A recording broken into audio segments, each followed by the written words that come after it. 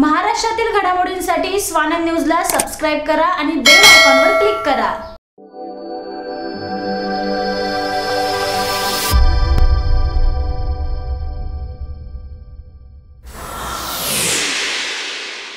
Anurag Pawar as international makeup artist also teach the students.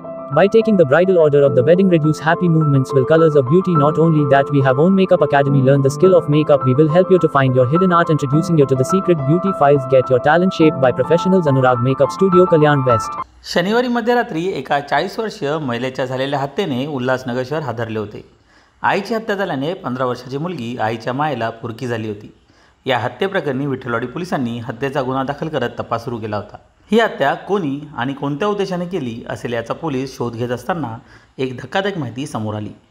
ती म्हणजे हत्या झालेल्या महिलेच्या अल्पवयीन मुलीनेच आपल्या प्रियकराच्या मदतीने आपल्या आईची तीक्ष्ण हत्याने हत्या केल्याचे समोर आले. त्यामुळे परिसरात एकच खळबळ आली आई केवळ आपल्या प्रेमाला विरोध करते आणि प्रियकराला घरी येण्यास मज्जाव करते यामुळे ही हत्या झाल्याचे समोर आले आहे. उल्हासनगर शहरातील कॅम्प नंबर चारच्या सव्वीस सेक्शन परिसरातील विद्या या महिलेचा घरातच रक्ताच्या थारोळ्यात मृतदेह सापडला होता. शनिवारी मध्यरात्रीच्या सुमारास अज्ञात हल्लेखोरांनी मृत महिलेच्या घरात शिरून तिच्यावर तीक्ष्ण हत्याराने गळ्यावर सपासप वार करत तिची गळा चिरून हत्या केली होती. हत्या झाली त्यावेळी कोणताही पुरावा मारेकरांनी ठेवला नव्हता.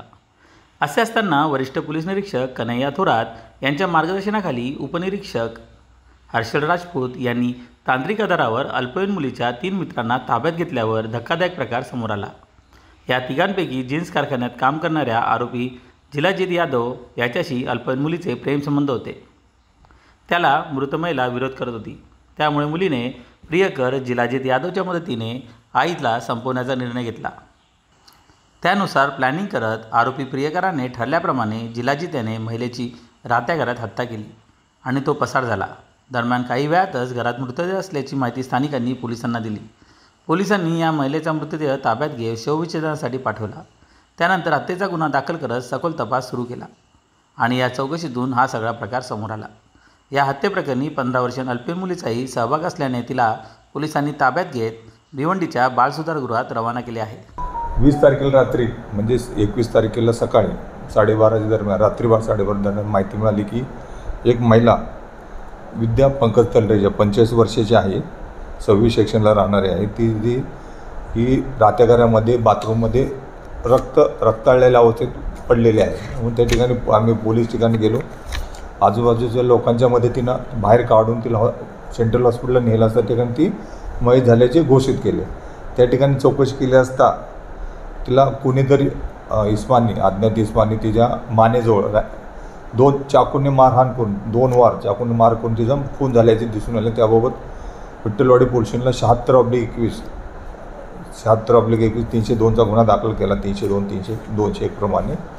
गुन्ह्याच्या तपासादरम्यान त्याच त्या भागात राहणारा एक मुलगा जिल्हाजीत भैयालाल यादव एकोणीस वर्षाचा मुलगा आहे. त्याला ताब्यात घेतलं संशयावरून. त्याच्याकडे चौकशी केली असता त्यांनी तो गुन्हा केल्याचे कबूल केले. त्याच्याकडे अधिक चौकशी करता सांगितलं की ते जी मयत महिला आहे तिची एक अल्पवयीन मुलगी त्याच्याने आणि त्याचे रिलेशन्स होते. ते रिलेशनवरून ते रिलेशनने मयत महिलेला म्हणजे आईला माहीत झाले होते त्याच्यावर त्यांचे वादावद होत होती.